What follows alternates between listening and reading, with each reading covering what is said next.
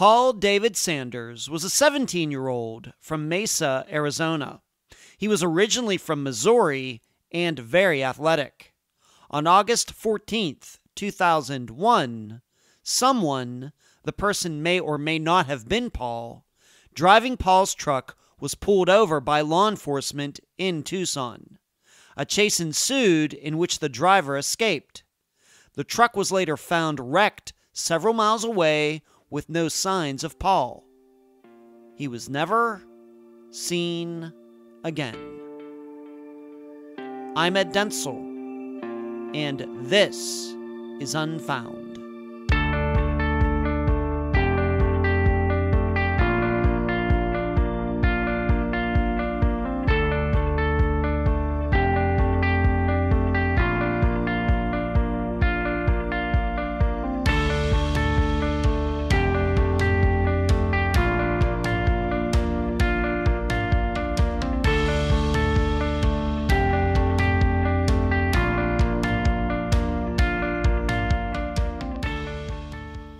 As you heard in the intro, the episode today will be based on a disappearance that seemingly started as a chase.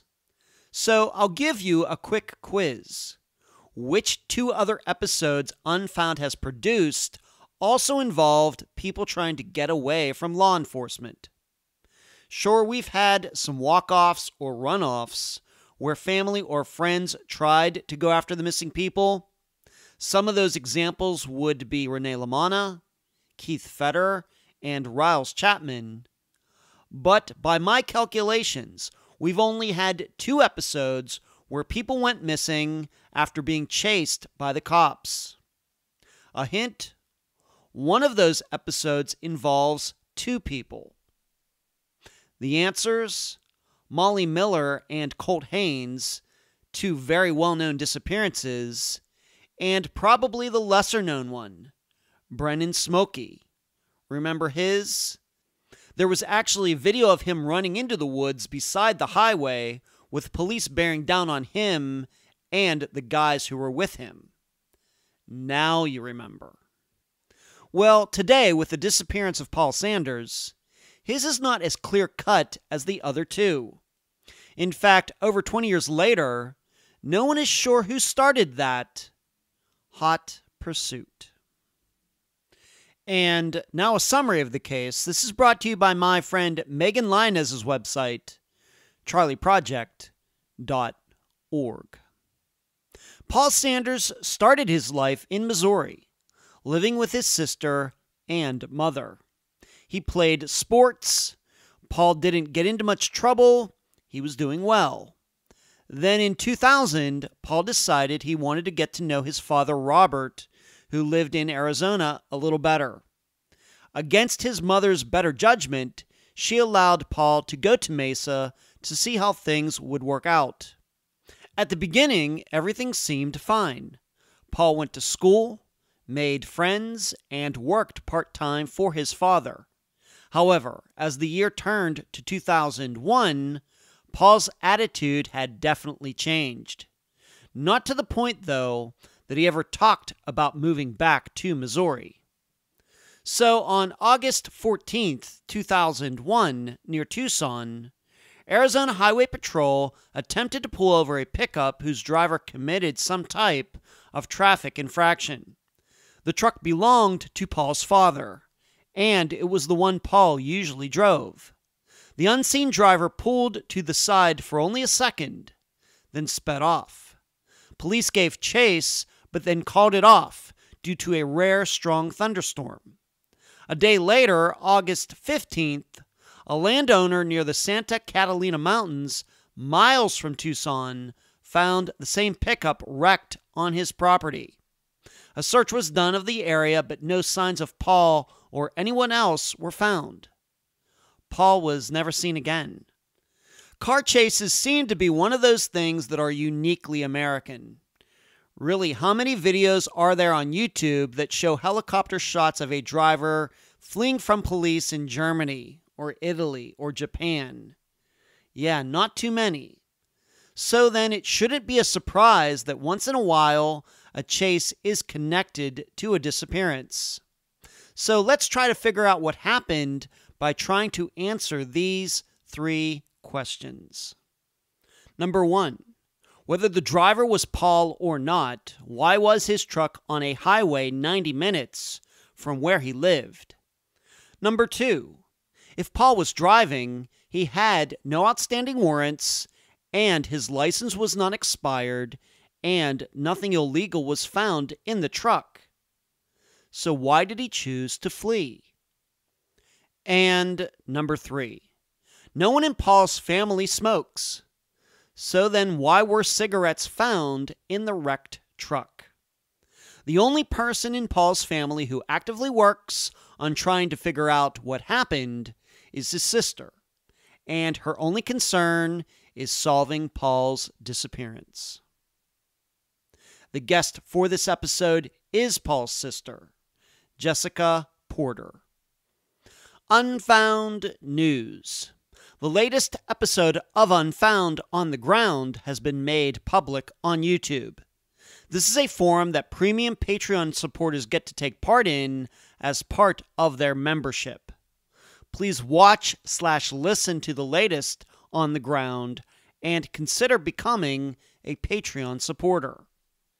Next, did you have a chance to read the article at Narratively written by Dylan Taylor Lehman regarding the Steve Pankey trial and the interview he did with me at the time. I thought it came out really well. Just go to narratively.com to read it. Finally, yes, the rumors are true. I won my division in a disc golf tournament this past weekend at Estero, Florida. It was the first time I won outright with no ties since March of 2015. Wow, it's a great feeling. Where you can find Unfound. Unfound supports accounts on iTunes, Pandora, Audible, Podomatic, Spotify, iHeart, Twitter, Instagram, Facebook, Deezer, and YouTube. Speaking of YouTube, on Wednesday nights at 9 p.m. Eastern, please join us for the Unfound live show watch, ask questions, and give the show a thumbs up. Contribute to Unfound at patreon.com forward slash unfound podcast. This week, I need to thank Kelly. You can also contribute at PayPal, paypal.me forward slash unfound podcast. I also need to give a huge shout out to all the people who have monetarily contributed using Super Chat during the live show on Wednesday nights. Thank you for watching and thank you for donating. The email address, unfoundpodcast at gmail.com. Merchandise, the books at amazon.com in both ebook and print form. Do not forget the reviews. The website, theunfoundpodcast.com. And please mention Unfound at all true crime websites and forums. Thank you. I'm so happy to have on this episode of Unfound the sister of Paul Sanders, Jessica Porter. Jessica, welcome to Unfound. Thank you. Let's start here, uh, as we usually do when we have family members on the program. Let's just talk a little bit about your family, and let's start here. Of course, Paul is your brother. Do you have any other siblings, half siblings? Uh, let's just start with that. Um, I do not. Um, Paul, we have different dads. He does have um, one brother from his dad's side. Okay. All right. So, really, then, uh, did you all three? Uh, of course, we're going to talk about Paul eventually going to Arizona, but did all of you three live together, or was it just Paul and you together? Was he and his other brother together? How was it when you were kids? Um, no, it was just Paul, myself, and my mom mm-hmm. uh, growing up. Okay. And you are, I know you are uh, Paul's younger sister. Um, how much younger and how old were you at the time of his disappearance in 2001? Sure. Um, we are five years apart, and mm. I was 12 at the time. 12. Paul disappeared. Okay, so for the listeners, just understand that as we are going through this, that Um, Jessica wasn't even a teenager yet, and so a lot of the work that she's done had to wait until she became uh, an adult. So that's also, of course, what we're going to be talking about for this interview. Uh, let's talk about uh, your home life in Missouri. Uh, how did you and Paul get along? You being that so many years younger, were you close at all? Um, did he have his friends? I'm guessing you had your friends. How would you describe your home life in Missouri, maybe in the late 1990s, and um, you know, with your mother as well? Kind of hard to remember with it being that far back, um, Mhm. but it's pretty much typical brother little sister relationship. Um, he would have his friends over, and I would pester them, and he would Huh. pay me in candy and slide Skittles under the door, so I would Uh huh. leave them alone. Yeah.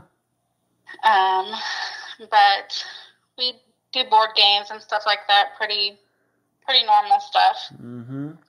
Did you say Skittles? Yes, he would slide Skittles under Uh, the bottom of the door. I love it. I love Skittles. That's cool. Okay, good. I'm sure some of the listeners love Skittles too. Okay, Yeah. uh, so you were in a single parent family. Your mother, single mother. Yeah, she had kind of an on and off again marriage for a while, but pretty much it was just us, us three. Okay. Okay.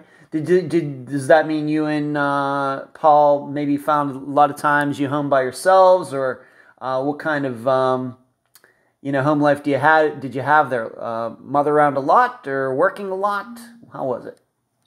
She worked um, several jobs, so a lot of times it was just Paul and I Was um, home together. Okay. Well, let's talk about Paul. And we realized that you were not around him for that last uh, small portion before he went missing because he had gone to Arizona. We'll be talking about that. But when you were around him all the time in Missouri, what can you tell the listeners about him as far as personality, school? Was he into sports interests? You talked about friends of his coming over. What would they do? What, you, what would you say about him, just to give a well-rounded picture of him? Um, again, he was pretty normal. Um, he was huge into sports. He played pretty much everything that he could and Hmm. excelled in every sport. Um, he was funny. He loved the Lakers. Um, Loved Michael Jordan. Pretty much everything revolved around sports for him, and he was just starting to get into where he was talking to girls and stuff. So that was Mm-hmm. Okay. uh, And we pretty pretty normal. okay, and we have to remember he was uh, just 16 years old when he went missing in 2001, right? Or how Uh, old, how old was he? How old was he? Seventeen. 17 when he went missing. Okay, and so you knew him uh, before he went to Arizona. So in his pre, uh, you know, in those middle teen years, 15, 16 years old, something like that. Correct. Okay. All right. So into sports. Uh, any idea how he uh, did in school? Um, I, you know, usually people who are into sports are fairly outgoing people, but maybe he was a little more laid back. Uh, what can you say about those topics? He was pretty laid back. I know that he did not did not like school. He, Mhm. as far as like learning and stuff like that, he struggled a lot with schoolwork. Mhm. Um, Okay. but he was. I know he was held back Oh, at a younger age. I don't know what age it was, but wow. Okay. How would you say the relationship was between Paul and uh, your mother? pretty good. Um, for the most part, I know towards the end, um, Paul kind of wanted to get to know his dad, and I think he was just missing having that um, Mm-hmm. relationship, I guess you'd say. But for the most part, it was pretty good. Okay, so he's missing like a father figure in his life.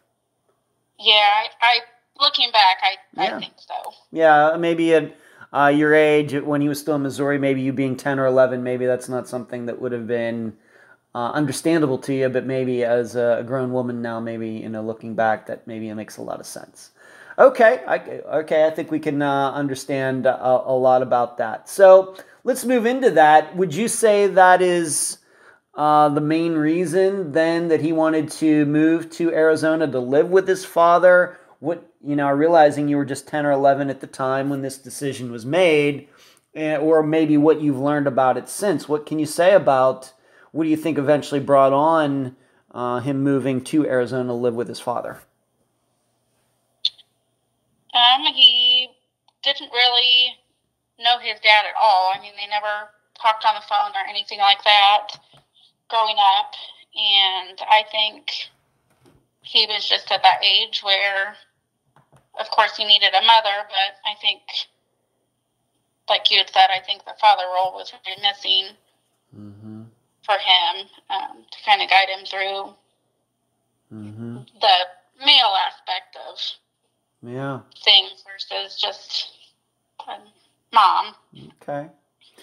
Do you, uh, maybe you didn't realize at the time, but maybe since then, did you find out whether his father? Of course, he eventually did go to Arizona, so I guess his father did say yes. But do you know now if that was like a quick decision, like his father said, "Oh, absolutely, yeah, sure," or do you think it was a little more drawn out than that? Do you even know that now? I do not. I know that when my brother mentioned interest, which I don't know if my brother brought that up or his father mm-hmm. initiated it, but my mom had sought out legal counsel of some sort, um, and they just recommended with the age he was at that it was best to let him do that because coming up he'd be able to do that regardless and she mm-hmm. thought there might be some resentment if she didn't allow him oh, to get to know his dad. All right. Uh, so when after he moved, you continued to live with your mother, just the two of you. Correct. And if if you can say, how did your mother uh, react after Paul left? I mean, uh, like you said, you know, maybe she didn't want to get into in the way of that for you know very good reasons, but uh, do you think that she was supportive of that? Did you think that uh, you know it's not going to work out and Paul would be coming back to Missouri very quickly? Do you even know how your mother, what your mother was thinking at the time? I know she was not supportive of it. She um, told Paul that she thought, didn't think that his father was the best person, and mm-hmm. kind of didn't want didn't want to tell Paul what her opinion directly was of him. She didn't want to influence him, but she also didn't want him to be in a bad environment, I guess. Yeah. Okay. Okay. So when did this? So what you're saying is essentially, being that you said that he, uh, Paul, and his father really didn't have much much much communication at all. So it was just like just one day, I'd like to go live with my father in Arizona, and it eventually happened. And so the two of them really did not know each other that well until Paul went to Arizona. Your opinion is? Would you say that's true? Correct. Uh, my mom and Paul's dad were high school sweethearts, and oh. shortly after Paul was born, they. Separated. So my mom really okay hadn't spoke to him much since during that time, anyways. Either. Okay. All right, so he's going to move to Arizona. Of course, we know Arizona and Arizona, Missouri are not uh, very close to each other. Uh, many miles. I've driven between those states a couple times, so I know. And so he goes to Arizona. And when did this happen? When did he move to live with his father? I it would have been in 2000. Mm-hmm. I want to say summer of 2000, but I'm not I'm not positive on the month. Okay, so let's just say in the year 2000. So let's just say approximately at least a year before he went missing. Mm-hmm. Okay, because he went missing in August of 2001. Okay, so um, he goes there, and so it's just you and your mother, and uh, was once again the way you, what you know now was uh, his father. What is his father's name? Maybe we'll just use his first name. What is uh, Paul's father's first name? Robert. Okay. Was Robert uh, married? Did he have any, any kids that were already living with him in Arizona from maybe another relationship? Uh, did he have a fiance, girlfriend? What was the living arrangement uh, in Arizona? I know he had a fiance at one point, and they did get married. I don't know at what mm-hmm. point, at what stage they got married. Okay. Um, and she did have a the fiance did have a daughter. Okay, and uh, once again, uh, lived at home with them. Mm-hmm. Okay, so Paul was moving in with his father, his father's fiance, and the fiance's daughter. So it would have been four of them. Correct. Okay. After Paul moved to Arizona, I realized you weren't there. Uh, did you talk to him on the phone? Of course, at that point, 2001, we have the internet. Maybe before Facebook. I don't know if MySpace was yet a thing, but did you uh, call, talk, ever talk to him on the phone during that year? Did you ever email back and forth with him? You personally? Um, I didn't have email or social media. We just communicated over the phone. Okay. And how many times did you say you talked to him in that next year? Just a um, I'd say at least once a week. Wow. Okay. And um, in your opinion, for, once again, from a 10, 11 year old point of view, 12 year old's point of view, uh, how was he doing? How did he sound? Um, at first, he sounded pretty happy. He was getting mm-hmm. to know his dad and other family members that he didn't know before, and, mm-hmm. and he sounded pretty good. Okay. And would you say when you were, if you were speaking to him once a week, would you say that he was speaking to your mother once a week as well? Less, more? Yeah, pretty much always initiated with him talking to my mom and then okay. her kind of handing me the phone. Okay, so he's keeping in touch with you and his mother, your mother too. And so that sounds uh, healthy to me. Uh, and so we went to Arizona. If it was during the summer, did that fall of 2000? Did he end up uh, enrolling in school there? You said he was into sports. Did he get into sports uh, when he was there playing football or, or whatever else? I believe so, but I'm not 1000% positive on that. I know that mm-hmm. the day he went missing, he was supposed to have football practice and I have asked for clarification. I'm not sure if he ever showed up to mm. that. All right, and that that would be for 2001. But for 2000, um, if he was 16, what would that be? Uh, sophomore in high school? Just a guess. Yes. Okay. So. I don't know. Okay, but um, I guess when I'm maybe I'll just put. So. All right, maybe I'll just put it this way being that you were talking to him once a week, did he ever talk about being in any sports activities, uh, any sorts of hobbies, interests of what he was doing once he got to Arizona? I know that he played some sports. I mm-hmm. I don't remember what kind he played. He mm-hmm. when he lived in Missouri played any sport he could. Yeah. So I assume he just did as much as he could, but I don't recall. Okay. Uh, did he talk about making friends there? Would you say Paul was the type of guy who could make friends easily?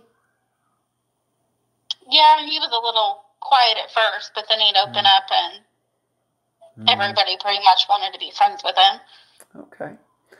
All right, so he uh, goes to Arizona, living in the Mesa, Arizona area, living with his father, uh, living with his father's fiance and her daughter who um, did you say is younger than Paul? Did you say like she was eight years old? Did you say? She's in between Paul and I's age, oh, so okay. she'd be two or three years younger than Paul. Okay, very good. So he goes when he's 16, so maybe she's 13, 14. Okay. Yeah, about that. All right, so um, he's there, and you said at the beginning he seemed okay, but um, over time, would you say, in your opinion, once again, as an 11 year old, 12 year old, uh, would you say that his opinion changed the longer he lived there? Yes. Okay, just maybe in general talk about that. What what in did he say about living there? Um, you know, anything else maybe that was bothering him that he ever told you? That he told me directly. Yeah, Um, please, please. I guess what I'm asking is if you know it started out well, and you, you kind of insinuated that maybe over time, that next year before he went missing, maybe things weren't as good. Uh, what gave you that impression that they weren't as good? Um, it used to be kind of where Paul and my mom would talk on the phone openly, and then I got to where my mom would tell me like go in the other room, or Mm. she would go in the other room, and I could hear her part of the conversation, Mm-hmm. and a lot of it was her being worried about different situations, which I didn't find out what they were until much later. Okay. All right. So over time, things changed. Of course, you've already mentioned that your mother did not think it was the greatest idea in the world for him to go to Arizona, and maybe it could be that her suspicions were being proven right. That could be it. Correct. Okay. Um, let's move on to this. Now, later, once you, um, you know, became an adult, and of course, now I know that you've done other interviews. I've read some of them, and you're now on Unfound. You've been able to find out maybe some of these things that were going on with him in Arizona, and I just want to touch upon some of them and uh, wanted, if you could, reveal how you found out these things, um, being that you weren't there in Arizona in the early 2000s. Uh, is there a belief that at some point while Paul was in Arizona that he got into taking drugs? I have heard from multiple people um, that he was taking drugs and um, also selling drugs by Wow. like an ex girlfriend, a family member, and a friend. Wow. But as far as anything official, Yeah. I have not been told that. Okay. So in in you trying to find out what happened to your brother Paul, you've tracked down some of these people and this is what they've told you. Correct. Okay, and these were people who were around Paul in Arizona in 2001. Yes. Okay. All right. Um, to your knowledge, did they ever tell you? Did he ever get in any problems with the law because of this? Uh, do you think that his father knew about these things? Did you get that impression from these people that you talked to, or not? Uh, do, or do you not know? Um, as far as legal trouble, not that I'm aware of. I don't know with his age if I don't know how that part works. Um, Mhm. But as far as I know, there was no legal trouble. Okay. Um, but I did find out later that his father did know about some of the drug um, accusations. Okay. All right. And uh, I have to ask, being that you were around him until he moved to Arizona, is that news that surprises you or does it not surprise you? I would never have believed that Okay. before. Okay. So, But with multiple people saying it, you kind of yeah, you have to maybe think that it's probably true. But you, what you're saying, the way you knew Paul in Missouri, that was uh, that would have been surprising to you. yes. Okay. Let's move on to this. Now, there was uh, a, a story you told me about a tattoo that he got. Maybe you can explain that tattoo, what the tattoo said, and uh, why his father hated it. How did you find out about all of this? Why did he uh, choose to get that word as the tattoo? Why don't we talk about that right now? Okay. Um, Paul, again, like I said, he was wanting to get to know his family and where he came from. Um, and his father's father, biological father, his last name was Hernandez. Um, from what I've gathered, Robert was not close to his biological father at all and kind of kind of despised him. Um, Huh. and my brother was wanting to get into like ancestry and stuff like that and wanting to get to know that side and um, when he he came home over christmas break so it would have been 2000 um, Mm-hmm. and he asked my mom about getting that hernandez tattoo on his back and kind of told her why and she took him and he got that tattoo on his back and when he went back to arizona Wow. Robert was furious that he Wow. put that on his back. All right, so not only did he get this tattoo, but he got it when he went back to Missouri to see you and your mother. Yes. Oh my gosh. I have to ask, do you think he got it done there because he knew that if he tried to get it done in Arizona, he wouldn't be able to? Is, Yes. that, a, is that a possibility? Okay. Yeah, and I assume you probably wouldn't be able to get a tattoo because of his age Mm-hmm. without a parent, but I, I'm not sure what the age in Arizona is. And so this was across his back. Are you saying like in big letters, like uh, like they put on the back of like sports jerseys, something like that? Yeah, it was like old English lettering, kind of. Oh my gosh. It's across, completely across, like shoulder blade to shoulder blade. Oh my gosh. Okay. Uh, and we have to remember he was uh, 16 or 17 years old when this was done. Yes. Okay. And like you said, uh, he came back there. His father uh, hated it, and you said this was uh, this Christmas break, so December of uh, 2000. So at least eight months before he went missing. Uh, his father sees it. He hates it um, because he, I guess, did not get along with his own father, whose last name was Hernandez. So there was something going on there. Do you think uh, the way, you, the best you can tell, was this something that continued to be an issue? Uh, with them, or was that something to the the point where Robert just said, "Well, that's just the way it is. We'll have to move on to other things." Um, it, to this this year, Robert is still upset about the tattoo. Is it to this year, twenty years later? Okay, okay. Um, you know, I'm not a parent, but I have no tattoos. I'm 51 years old. I, I have to admit that I'm not the biggest fan of them. Uh, but uh, some other people are. I, I suppose I might react like Robert did if I had a son who did that. But okay. All right. Uh, especially if he's 16, 17, if he's 20 years old, uh, living on his own, what are you going to do? Okay. Let's move on to this. Just in general, Robert's, or I'm, um, excuse me, just in general, Paul's mental health. When he was home, for example, you got to see him at Christmas. Um, besides maybe maybe the, the, the relationship with his father continuing to sour, I of course would not call that a mental health issue. Anything else maybe that uh, you could tell on the phone, that your mother could tell on the phone, like anxiety, depression, anything like that that was going on with him going into the year 2001?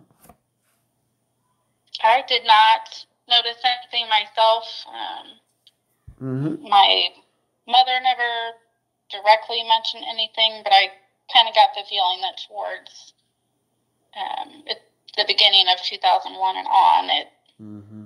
kind of started to shift, and Paul had some worries, or maybe in, later in 2001, maybe not the beginning of the year. Okay. Anything in particular? Uh, um, anything that that just jumps out at you now? Maybe even it's something maybe that you found out since 2001 in your own work that you've done. Uh, any talk? Um, maybe just to be honest, any talks of suicide or just saying, "Man, I'm really down and can't shake it." Anything like that, or you know something else? No, Okay. just general worries about things, nothing hmm extreme like not being able to go on type. Okay. And your understanding is 2000 into 2001 he was going to school? Correct. Okay. All right, so we come up to, uh, we know, now, so we've talked about these things, and if we're to believe them, um, Paul may be being a little rebellious with uh, the tattoo. Um, and if we believe these people who knew him at these time, at that time, maybe he was getting into some drugs. Maybe that could have contributed to the maybe a change in his personality and how he was talking going into 2001. As we know, drugs can do. We're just still not sure about that. But that brings us to uh, that summer and moving into August of 2001. Maybe we'll just go for the, the summer as a whole, like after school was over. Do you have any idea how Paul spent his time during the summer of 2001 before August came around? Uh, he worked for his father um, doing construction. Okay. All right. So maybe, uh, you know, father has a son working for him. Maybe the relationship wasn't so bad. Um, and uh, construction's a good job for a, young uh, kid to have, I guess. Maybe better than some other work. So maybe that's not uh, a bad deal. So he's working in, in construction. Obviously, working construction in Arizona is not for the faint of heart, given the temperatures and everything, having been in Arizona a lot of times in my life. So he's working for his father, and uh, we get to August of 2001. Now, my understanding, though, is at the time, seemingly at the time of Paul's disappearance, Robert and his fiancee weren't even in Arizona. Where were they? um, in Vegas, is what I'm being told.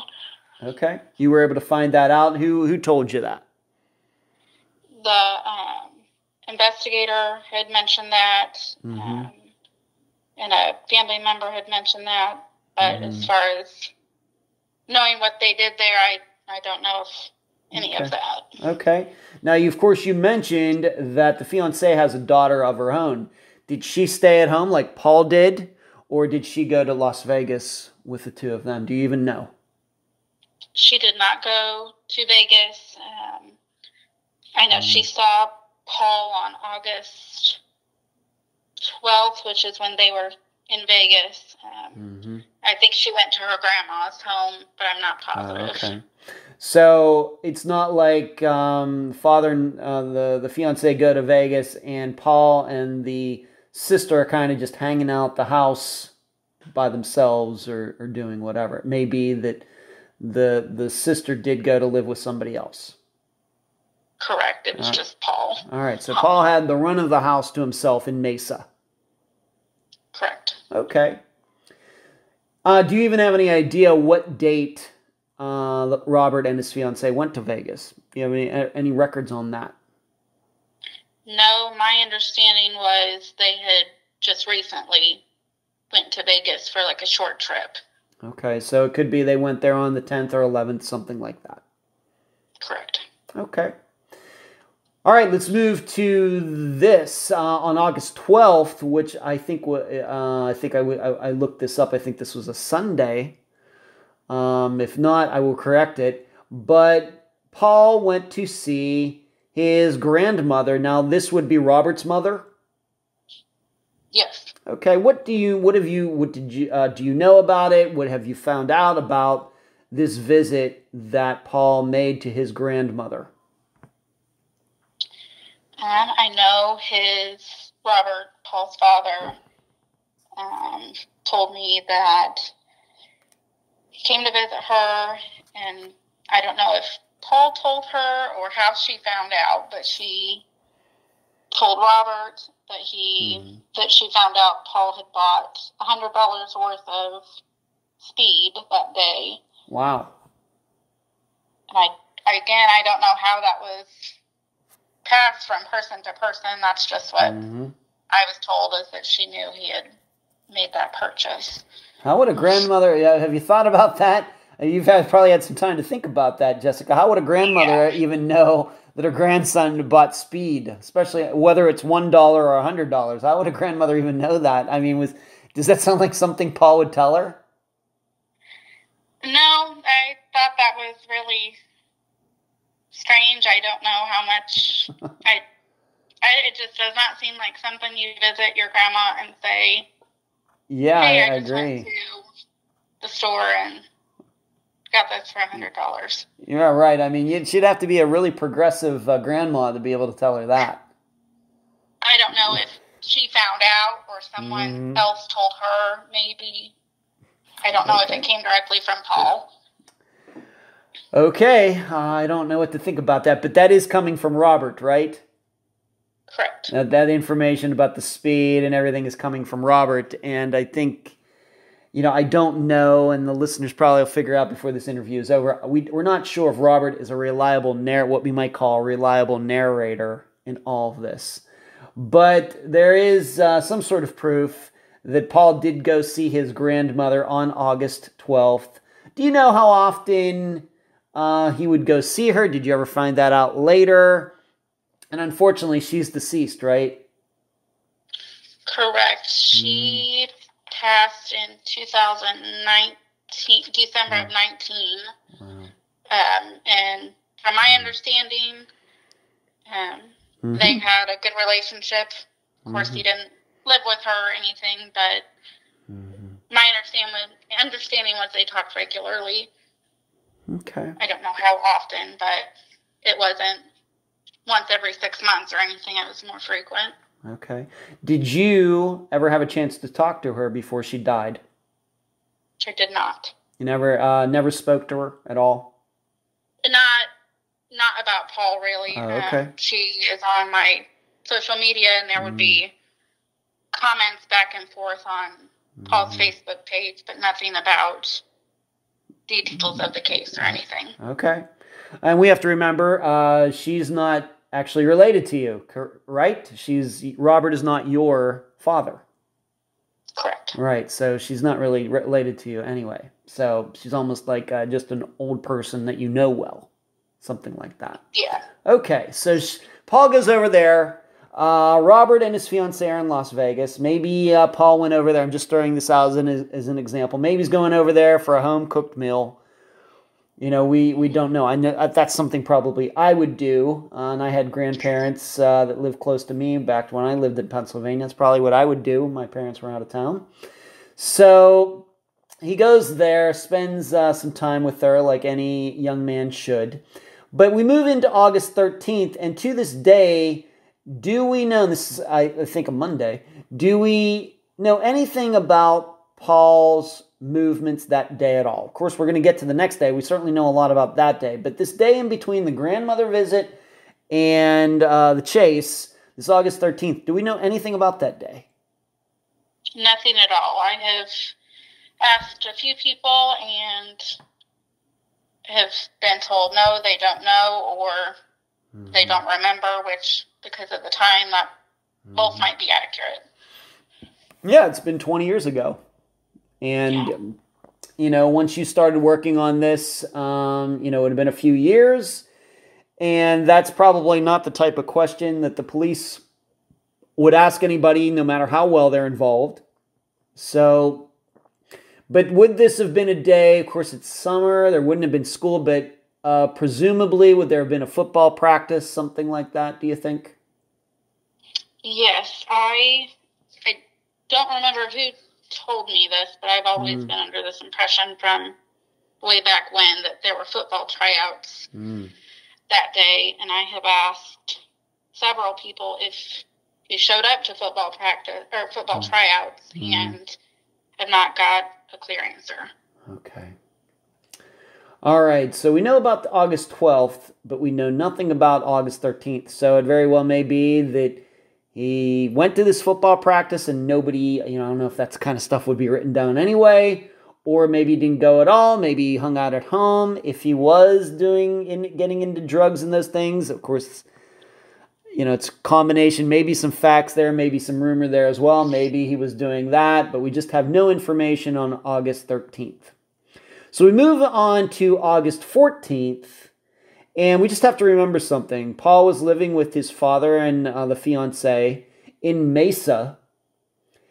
And those this happened in Tucson, which is nowhere near uh, Mesa, Arizona. Mesa's, you know, getting up there near um, Phoenix, whereas Tucson's getting down there kind of closer to Mexico.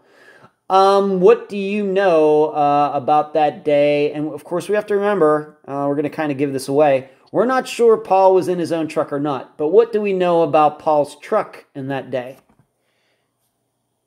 Um, the truck was pulled over. It was his father's truck, but Paul primarily drove it. Robert had his own truck, and this was kind of an additional one. Paul went place to place in. Okay. Um, so he was the primary driver. Um, the truck was pulled over. I don't know if it was by state or what jurisdiction, but it was pulled over for something routine and minor, like a tail light or blinker signal. I'm not sure what. I was just told it was something minor. Okay. Um, and the vehicle took off. There was a chase that went through a really large jurisdiction. Um, I think maybe five agencies Oh my. approximately that this chase went through. Um, and ultimately it was called off because of the weather and public safety concern Huh. is what I was told, and there was not a helicopter. Okay. So maybe to give uh, an example to the listeners, this sounds like a serious long chase, like one of those that you might see uh, on YouTube or something like that. You know, you can go on and watch police chases. Of course, those have helicopters that are falling. Doesn't sound like there was a uh, helicopter here. But one of those long chases that goes out in the highway, reaching excessive speed, something like that. Yes? Yes. All right. Okay. So that's the kind of chase it was, and but believe it or not, uh, even though it hardly ever rains in uh, that portion of Arizona, this uh, chase was called off because of rain. Correct. Okay. Uh, just to ask you some questions, though.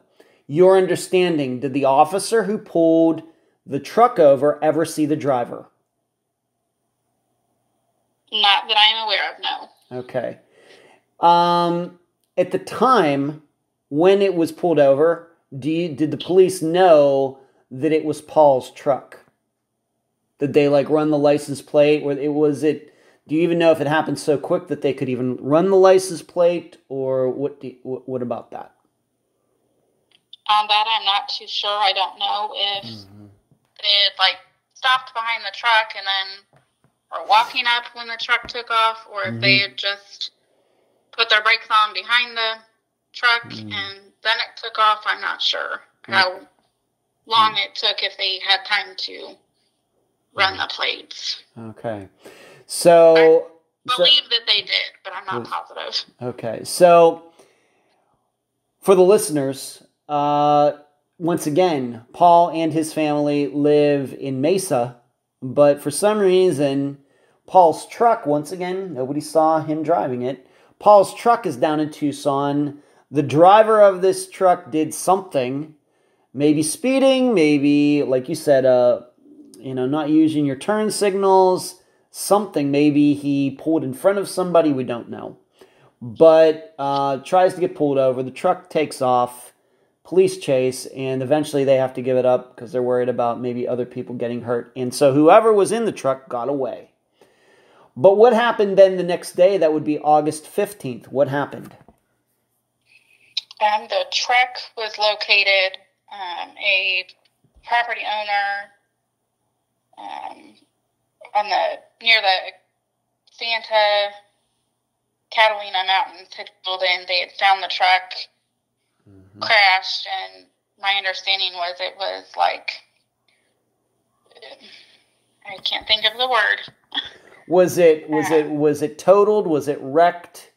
Um, was it drivable? Was it like off on a dirt road? How far was it from a main road? Maybe that'll help you with that word you're looking for. Um, I was told it had rolled. It was Wow. totaled. Um, it was on Redington Pass Road Mm-hmm. at mile marker 44, um, about six miles from a reservation. And that part I learned from Robert. Okay. So, and I will be doing a video, uh, everyone, uh, so we can I can show you some of these locations: uh, Mesa, Arizona, Tucson, Arizona, and then this Redington Road and the Santa Catalina Mountains. Um, I'll be doing a video that will be on YouTube for all of you to check out. And we should just state the Sa- Santa Catalina Mountain- Mountains aren't near Tucson or near Mesa. It's like one big triangle. Correct? Correct. Yeah. Okay. So, in your opinion, uh, was the truck found, like, I guess, by mistake, Yes. by accident. Um, it wasn't like the police were still looking for this truck and happened upon it way up there. It was some private individual who saw that it had been wrecked, rolled over, or whatever. hmm On Oh. his property. Okay. So your understanding, once again, I realize that uh, you didn't do chance to do this research and work until years later, but uh, the next few days, how did you and your mother find out about all of this? That part is honestly kind of foggy for some reason. Um, Mm-hmm. I don't. My memory of it was that my mom had been calling maybe Robert because she hadn't heard from Paul in a while. Um, I'm not entirely sure. I know that when I spoke to the investigator, um, she had said that they, my mom had called them, and then they were trying to reach Robert to find out if he knew Paul's whereabouts, um, anything like that. But they weren't able to reach him initially. But she was. I just remember she kept saying, "Oh God, I know something. Something's not right." Mm-hmm. So, do you even know was it the police or was it Robert who called her to tell her that the truck had been wrecked and Paul was missing? Do you know? I believe it was the police, but I am not Hmm. positive on that. Okay. And your mother actually went out to Arizona, didn't she? Yes. Okay. How do you even remember? I'm guessing you didn't go. Did were you uh, put with uh, somebody, a family member, to watch you while she went out there? Uh, we didn't have too much family, so I Hmm. did go with her. Oh, you did. You went to Arizona. Yes. Wow. Okay. What do you remember uh, personally? I realize you're just uh, like uh, 12 years old. Uh, what do you remember about going there? Uh, I know we, and again, that's I. The next few days are really blurry. Um, Mm-hmm. She went to the police department and was talking to them, and she was really frustrated. Um, they kind of were using the term runaway, um, and she kept saying that's not what this is, and kind of caused a scene. Um, Mm-hmm. and basically got onto her and Mm-hmm. I remember that part. And I know we somehow we get- got flyers. I don't know if that was through the police department or what, and had were putting flyers up, uh, missing persons flyers for Paul. I don't remember how long we were down there, but I want to say it was a few days, and then Mm-hmm. returned back. Okay. Now, to remind the listeners, of course, Robert and his fiancee were not even in Arizona when this all went on. Um, did they cut their Vegas trip short to come back, or what do you know about that? um, when they they had tried calling Robert um, to find out if they heard from Paul, and then they found the truck. They called Robert, notified Robert. Mm-hmm. He called them back, um, and was came back home. Um, sorry. It's all right. um, he came back home and they told him that they would form a search party in the morning when the weather was better and when it was daylight. Mm-hmm. Yeah. And so uh, the police, uh, maybe if the truck was found on the 15th. Uh, so you believe approximately on the 16th or the 17th, uh, they sent some searchers out into the those mountains to find out if they could find uh, Paul, any items that he might have, uh, any thing that could be connected to him to maybe lead them in a direction that he might have gone, anything like that.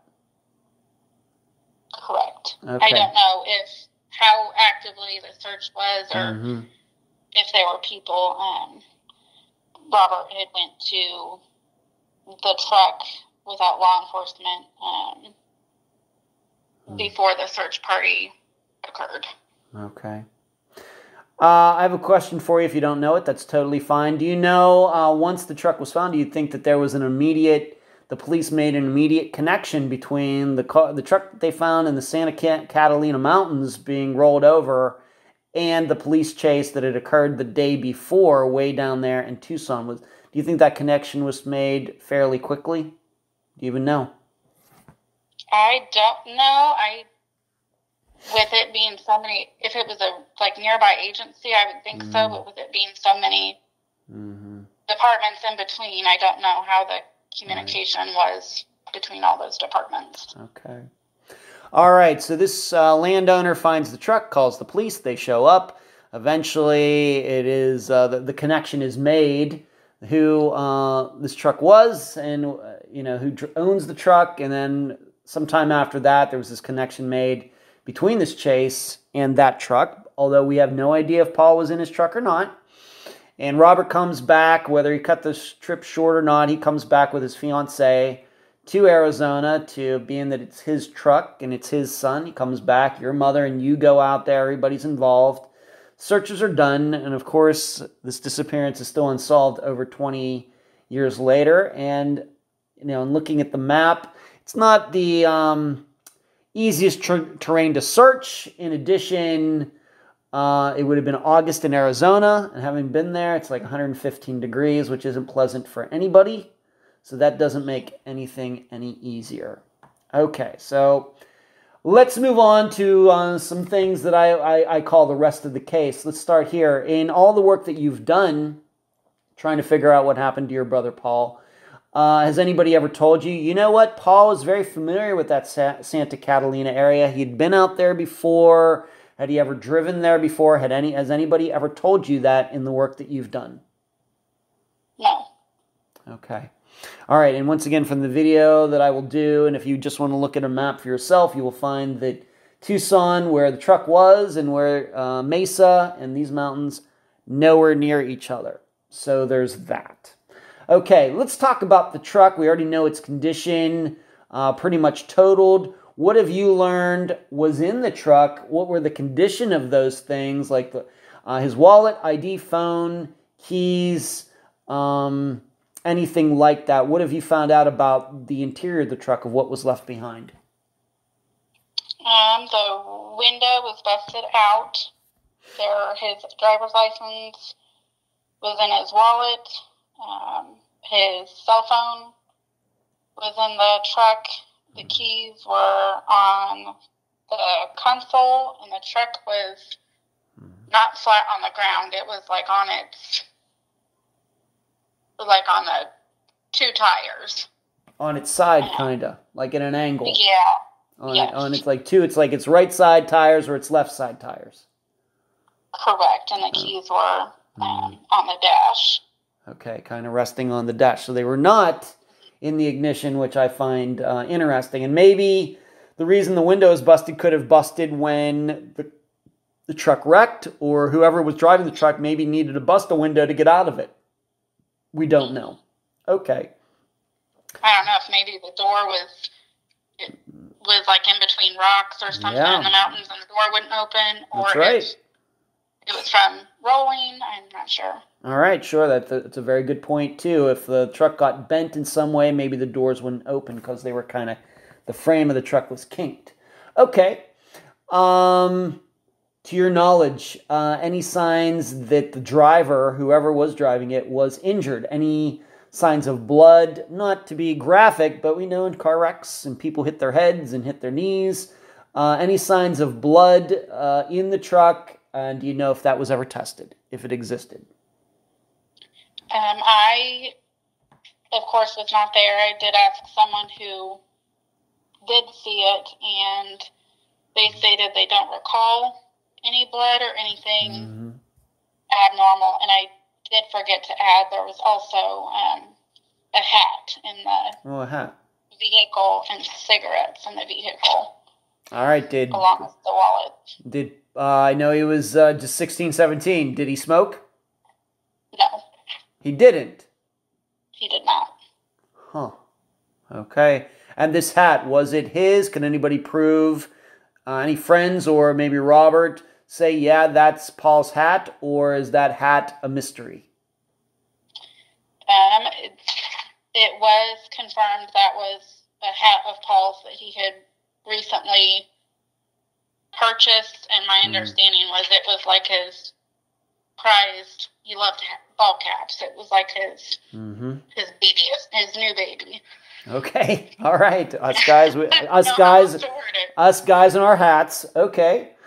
Um, most importantly, uh, anything illegal found in the in the truck at all? Any drugs? Any bongs? Anything like that uh, found in the truck uh, after it was found?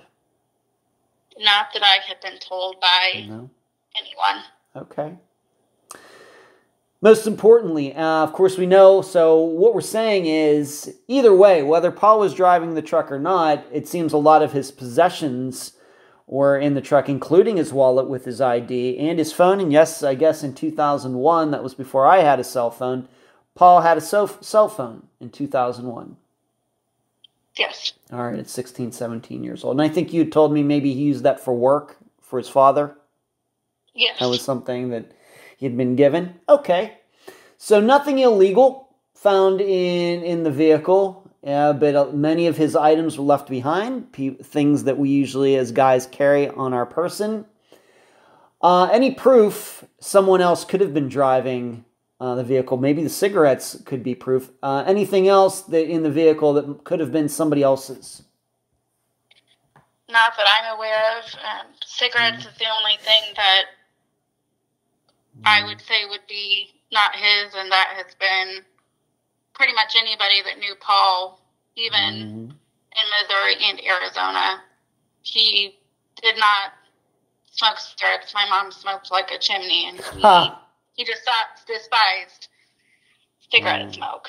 Okay.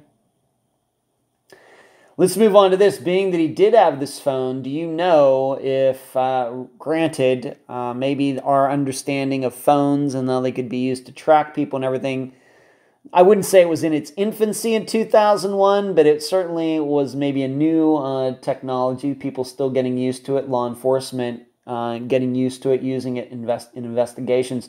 Do you know if any ping info was ever gotten? Do you know if Paul's records were ever obtained um, from his, you know, whoever was paying for his phone? Whether, you know, could they get uh, his phone records somehow to see if he had talked to anybody on the 12th, 13th, 14th? Do you know anything about the ping info or just the, the regular phone info? I don't believe either were done, but I'm not positive on that, and I'm still trying to get some clarification on what Mm-hmm. exactly was handled with the crash since it was through a different department than the one that handled the missing persons Okay. case. So it would seem to me, I think, of course, this was if this record happened, if this disappearance happened this year, then I think probably fairly quickly, uh, somebody would get those records of the person who is missing, would get the ping info, and uh, be able to figure out if Paul went missing in 2022, be able to figure out who did he text, who did he call, what did the ping say, uh, but we're still unclear about that information for his disappearance, which happened in 2001. Hmm Okay. Do you believe the phone, being that it was still left in the vehicle, do you believe it is still still now with whatever department is responsible for his disappearance? I don't believe so. You don't think so. Okay. But I, again, not 1000% positive, but I Mhm. don't believe they have it. So who is responsible for Paul's missing persons case in 2022? Who has the official paperwork uh, that was filled out in 2001 regarding his disappearance? Uh, Mesa Police Department. Okay.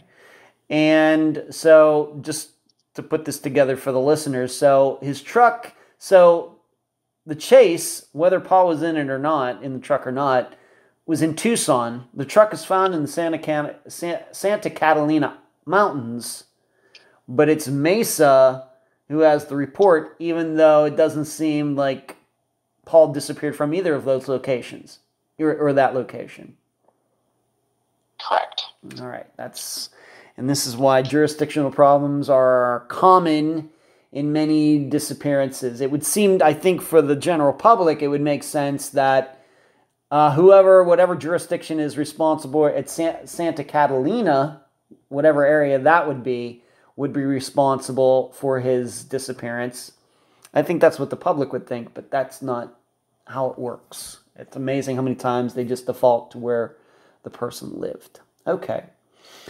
And the way you know Paul and you, the work you've done uh, since becoming an adult, has anybody ever been able to convey to you or make you understand why, if it was Paul in his truck, what he would be doing down in the Tucson area at all? I know there are a lot of rumors, but anything factual? Nothing. They didn't know him drive down there, hang out down there, have a girlfriend down there, anything. Nothing at all. Nothing. Okay. But his truck was down there. Mm-hmm. Let's move on to this. Paul's father, Robert. We already talked about how he was in Vegas. He came back. Now, you were told a story about how he went to where the truck was. Why don't you um, talk about that?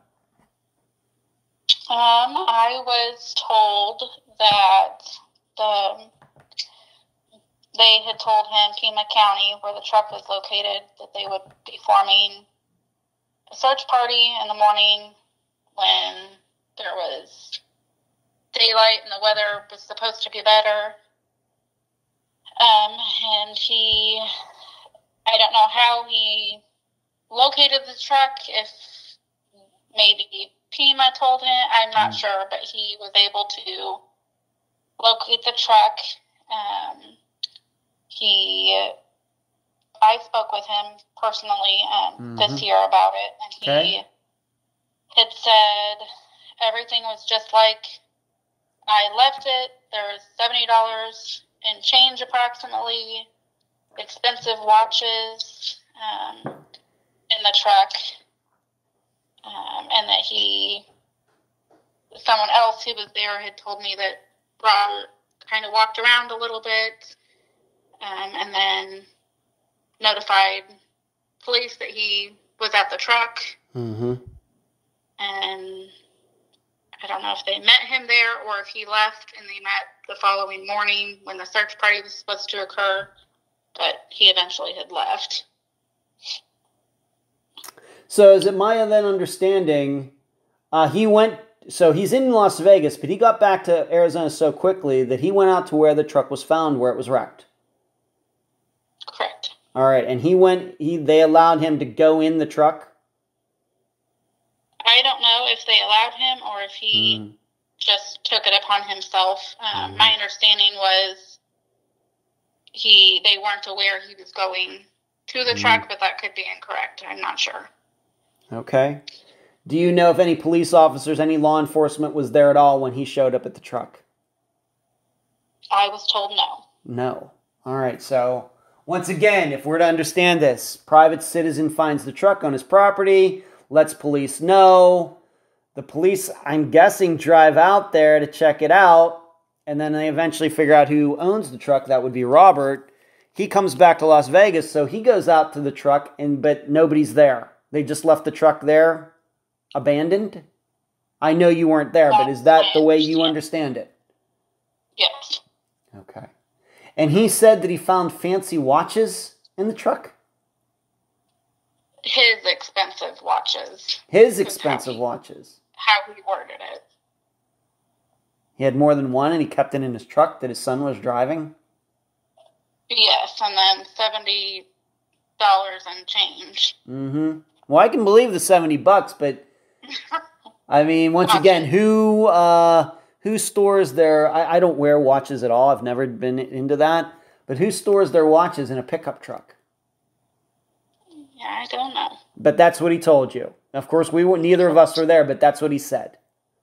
Yes. Okay. I don't know what to think of that. Uh, but uh, you did tell me did he was he in the process as he was driving home did he tell you or somebody tell you that he was throwing stuff out of the window on the way home what what is that what was that story I was told that he um, started throwing Paul's possessions located in the truck out the window for sure.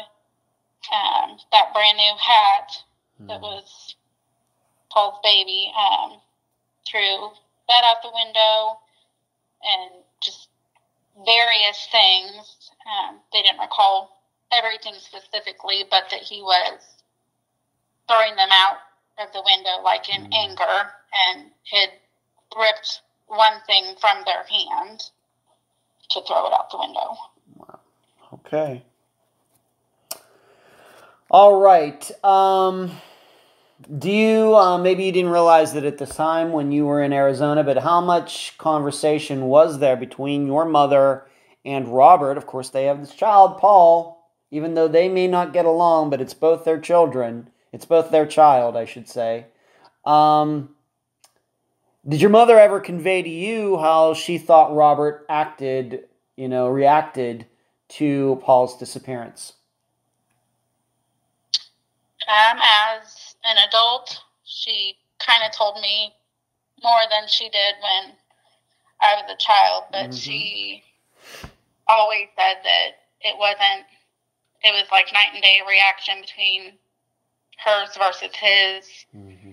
His was a lot of anger, and hers was mm-hmm. more like distraught. Mm-hmm. Um, I know they had tried to talk, and it just always they always ended up fighting. So eventually they just quit communicating altogether. Okay. Uh, do you know if how much Robert helped in trying to find Paul? Did he go out with any of the search parties? Did he drive around? Did he help? Uh, you talked about putting flyers up. Did he do uh, anything to your knowledge? I don't believe so. I know that he, when he located the truck, did walk around that area for short amount of time. Mm-hmm. But to my knowledge, that is all. He has stated that he has done stuff since day one, but I don't know what exactly what exactly he has done. Okay. In talking to Robert, you've stated that you spoke to him just this past year, 2021. Correct. Okay. Um, we started talking in September, mm-hmm. I want to say, of 2021. Okay. Has he ever stated that he thought maybe Paul's disappearance could be connected, could be drug related? Of course, we have these other people who stated that Paul might have been doing this, might have been doing that. Have the topic of drugs ever uh, come up between you and Robert and talking about this disappearance? Um, I let him know that I had been told Paul was using drugs and asked if um, that was true and how he handled that, if it was. And mm-hmm. at first, he'd said he wasn't aware of it until after the fact all this happened. Um, but then later, he had stated that he found um, weed in Paul's wallet, and there was an argument about that. Mm-hmm. And Paul had went back at him and said, "Well, you do it too. Why are you oh, I see. upset with the type of scenario?" Okay. All right, so there was that, and maybe I should ask you that. Uh, once uh, everybody uh, did go home, once Robert went back to his house with his fiancee, her daughter, of course, Paul's missing. Um, to your knowledge, did they uh, find anything in the house, being that they were gone for a few days? Paul's there by himself. Anything that seemed weird, unusual, out of place, missing, um, that could have been connected to Paul's disappearance? No, and when they did um, the official missing persons paperwork, um, when they actually came out to the home they lived in, um, they the conversation happened outside, and they the law enforcement had not went inside the home in Paul's room or anything anywhere in the house. Um, and I was told that nobody noticed anything missing or unusual. Mm-hmm. Okay. Now we should state for the record, uh, we don't have to get into any specifics, but uh, Robert, um, what kind of reputation does he have? Um, I would not. I would not want to be alone with the type of person that Is that right? I found out. All right. Does he have a criminal record? Does he have felonies on his record for things? Yes, several. Okay. In talking to him, you said you spoke to him this past year. Um, by the way, we are doing this interview for the listeners. We're doing this interview on January 12th, 2022. Um, so maybe uh, four or five months after you started speaking to Robert. Uh, has he ever, in your talking to him, ever voiced an opinion on what he thinks happened to Paul? He gets a strange about that. He has kind of leaned towards Paul was in the wrong crowd, and he thought a friend knew something, um, and kind of never nothing exact, no exact theory. Okay. Okay. Now there's this, uh, and this is kind of connected to Robert because of Paul's job, but there is a story about Paul's paycheck. Um, what can you tell the listeners about it? He got it. Was it cashed? What do you know about it? How much was it worth? What about this? And the Robert had the construction business, and his fiance or wife, I'm not sure at what point they were married. Um, she did the payroll for the business, and Robert said he was not aware of this until after. Um, but Paul had asked her directly if he could get his paycheck a couple days before it would normally be given. I don't know if there were questions asked, why, or anything like that, but it was um, $500 approximately. Um, and that was, she had stated that when the missing persons case was going, had let the Hmm. cops know, and I don't believe any of that was in the wallet. And so, but you, but so you do believe that um, he was given a, a paycheck and it was cashed. Correct. All right, and that money has never been found except for that seventy dollars you said was in the truck. And change, yes. Okay, so Paul is missing. His phone was found, wallet was found, keys to the truck were found, but this money that he's uh, allegedly got was not found. Uh, seemingly, if we're to believe it wasn't found at home, it's never been tracked down. Correct. And it just dawned on me. I don't know if the check was requested to be cashed because they were going to be on vacation. I'd never Yeah, thought of that part, or Okay. if it was good point. he needed it for something. I hadn't thought of that before. Okay, that's a good point. But either way, should have had five hundred dollars somewhere and uh, hasn't been tracked down. Okay. Now let's talk about. Uh, of course, we talked about a lot about Paul and the connection to his father. So we've talked about Paul and this kind of this relationship with his father. We talked about uh, Paul as an individual, but you've also mentioned how you've talked to some people who are around Paul at the time, and there was uh, one person in particular. His initials are MP. Why don't we talk about your interaction with him? How did you track him down? When did you first speak to him? Let's talk. Let's start there. Um, this started just from when Paul had visited us over Christmas break. He talked about his friend. Um, we'd seen photos of them. They once Paul went missing, uh, I found him on social media, friended him, messaged him, just generic. You know, I'm so and so. Have you heard anything? You know, you still live in that area. Basically, can you help me with anything? Um, Yeah. and he just kind of got weird about it. What does that mean? Um, he was talking about me personally and saying that I could be his Facebook girlfriend and wasn't really discussing Paul. He was discussing me and appearance and wanting to get to know me and not addressing my direct questions. Really? And you're sure and you're sure this was the right guy? Yes. Okay. And I think you've told me that this guy is married? Correct. And he was doing this? Yes. I see.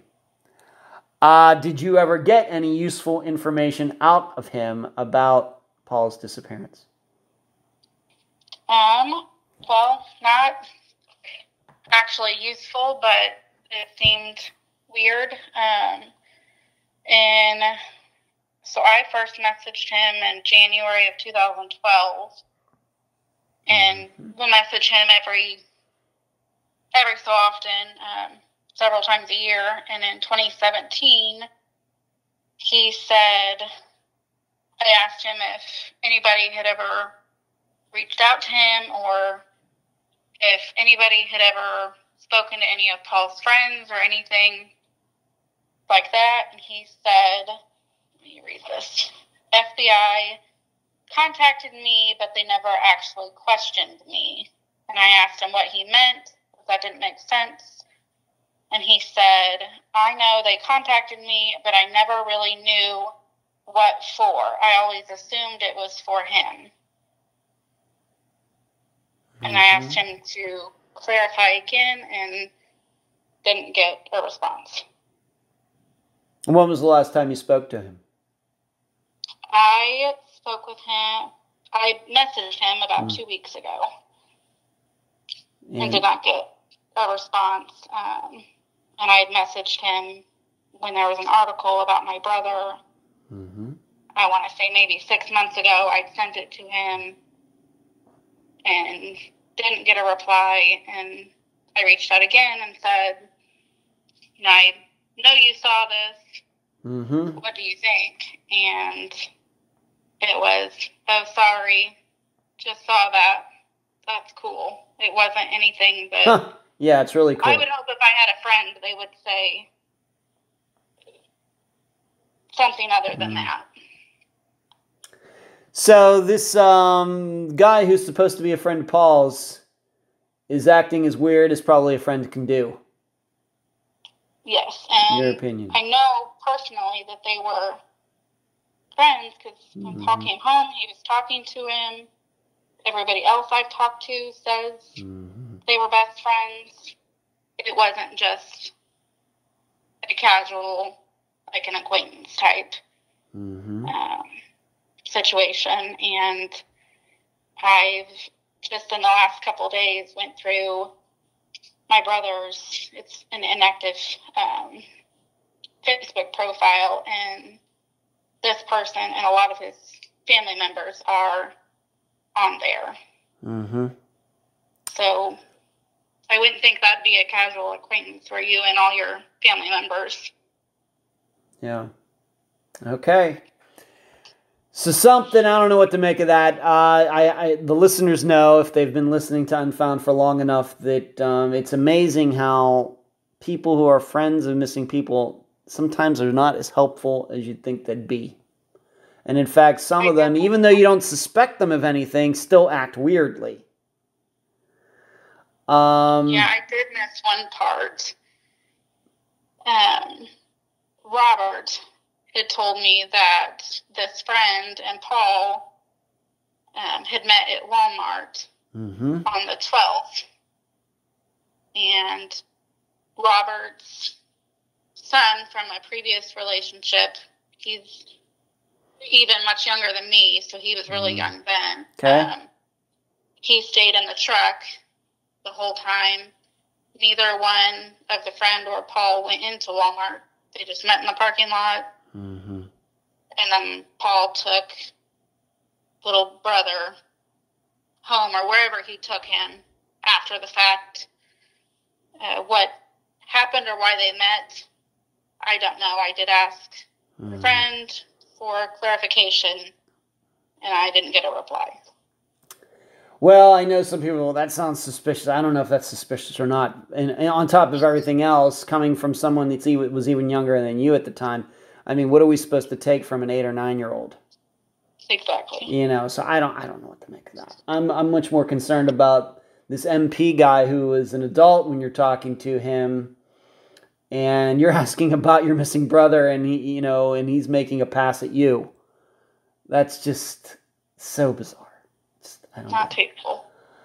Yeah, so uh, the listeners uh, can uh, figure that into their calculations. Uh, did this person ever even offer up a theory as to what happened to Paul? No. Um, when I asked that, he said that they didn't really hang out. They didn't really know each other well. Even though you have information to the contrary? Correct. Okay. Let's move on to this, and this is something that's just uh, recently, um, given that this disappearance is over 20 years old, um, I'm always hopeful that the police will be a little more forthcoming than they would on disappearances that are just a couple years old. Uh, you were in the process of uh, filling out a Freedom of, Freedom of Information Act request, correct?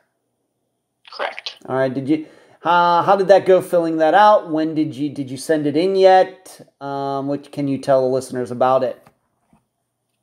Um, I did send it in. Um, as far as filling it out, it was very difficult just because I didn't.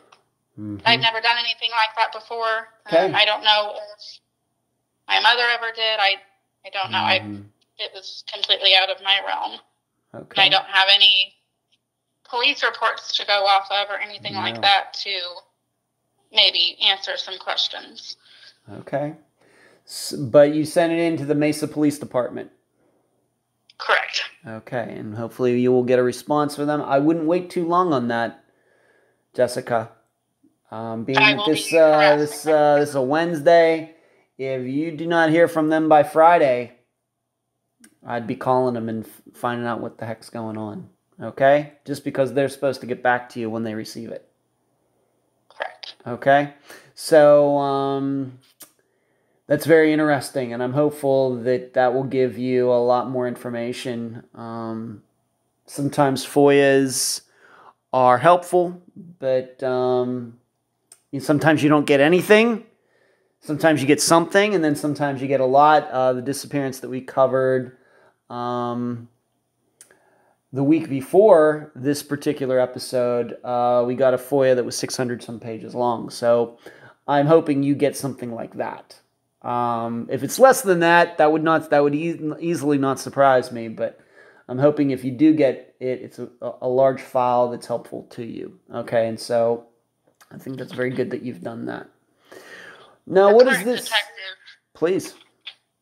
Um, the current detective did tell me when we first I called her on July 5th of 2020 to let her know um, I needed to be the point of contact and asked her questions about Paul, and she stated she had just got the case several months prior, and his binder was huge compared to mm-hmm. some. So I don't know if that's mm-hmm. a good thing or what necessarily that means. Uh, until you look at it, I don't know what that means until you look into it. So I wouldn't want to yeah. jump to any conclusions regarding that. Yeah, I can't tell. All you won't know until you actually get to see what's in it. Mm-hmm. Um, what's this been like for you, Jessica? Of course, you were just a what I would call a little girl, not even a teenager yet when this happened, and then at some point you become an adult, and then to the point where you're working on this yourself, and it's mainly because um, your mother's passed away since then. Yes, um, it's been kind of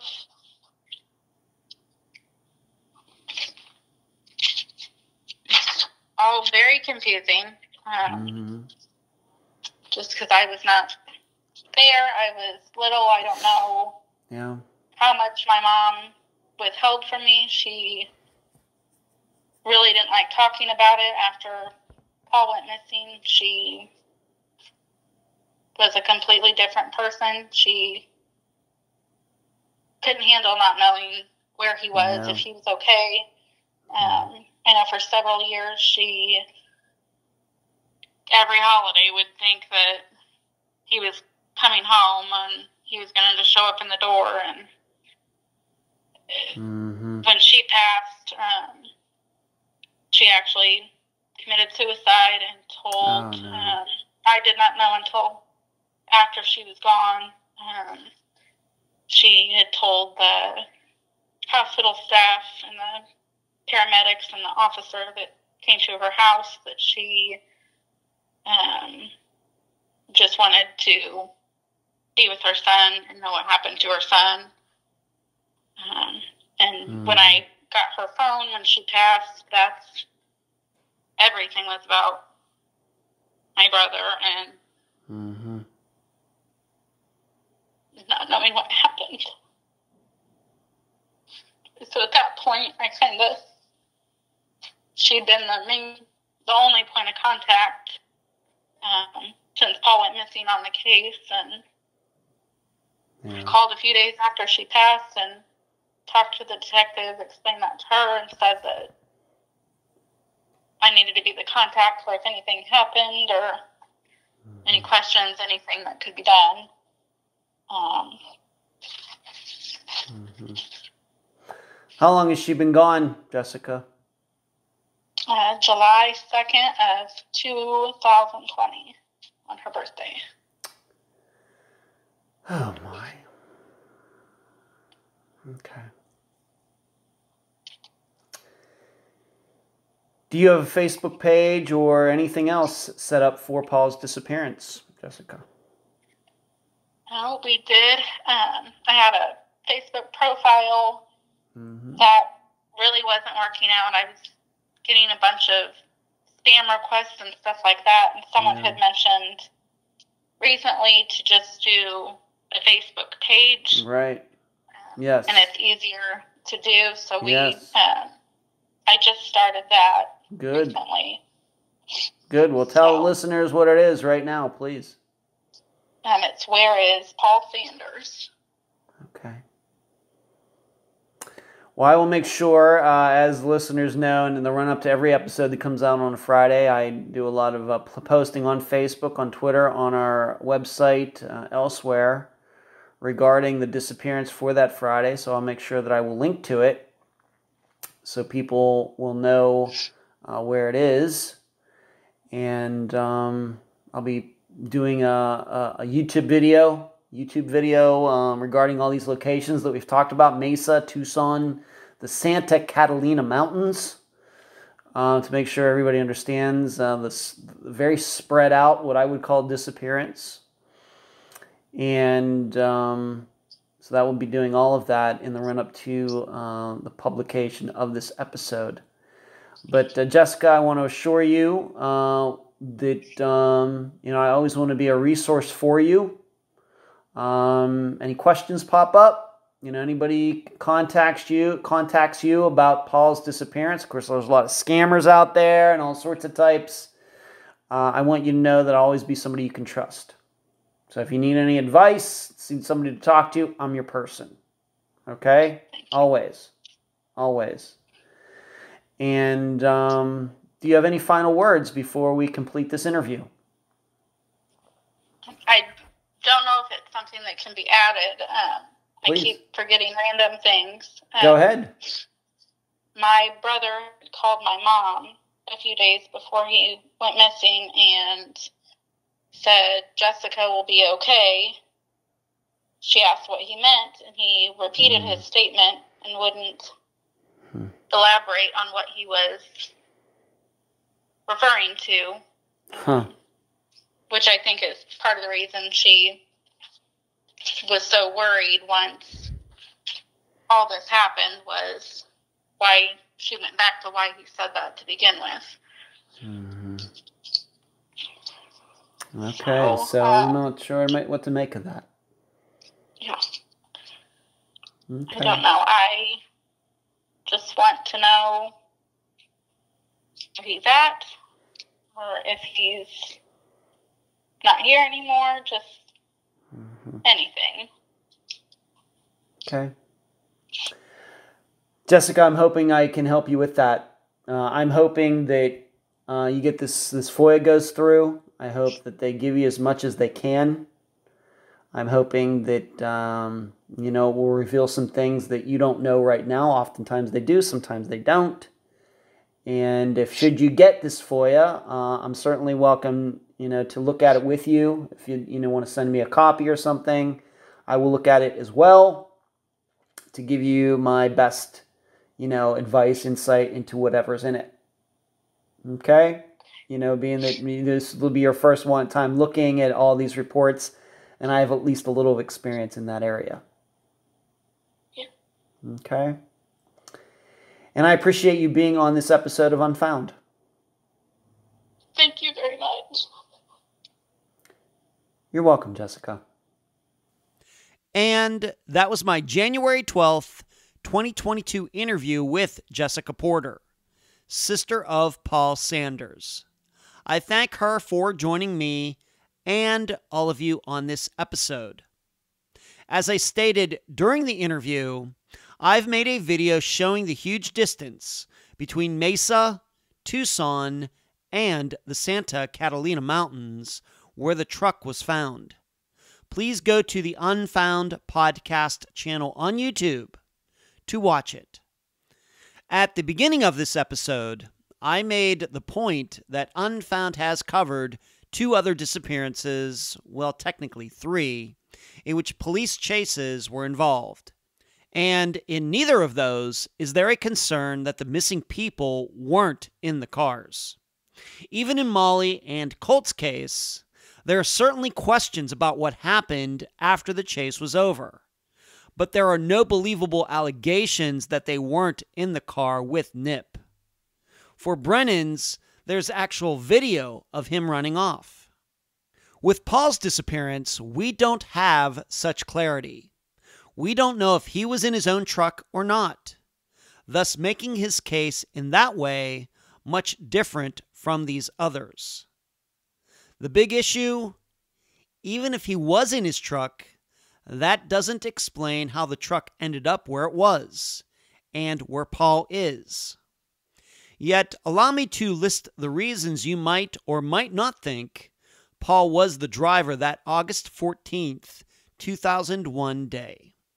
Here are some reasons to think the driver was Paul. It was his truck.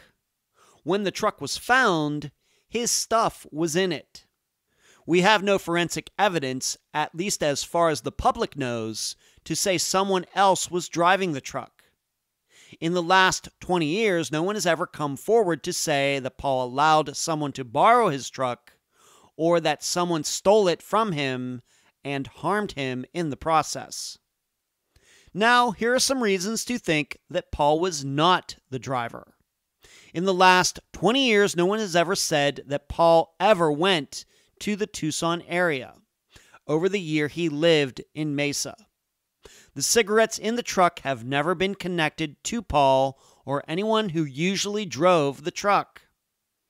Why would Paul run from police since he had no criminal record he had a license, registration, and insurance, and nothing illegal or criminal like an opened beer can was found in the truck. At least one of his friends has acted suspiciously when asked about Paul's disappearance. So, which set of facts is more convincing to you? I'm just hoping the covering of this disappearance can put Paul's family and trustworthy friends, along with the police, in hot pursuit of the truth once again. I'll leave the theorizing up to you. And that's the program. If you found it informative, please go to the app that you use to listen to Unfound and give this podcast a nice review. I thank you for listening. I'm Ed Dentzel, and you've been listening to Unfound.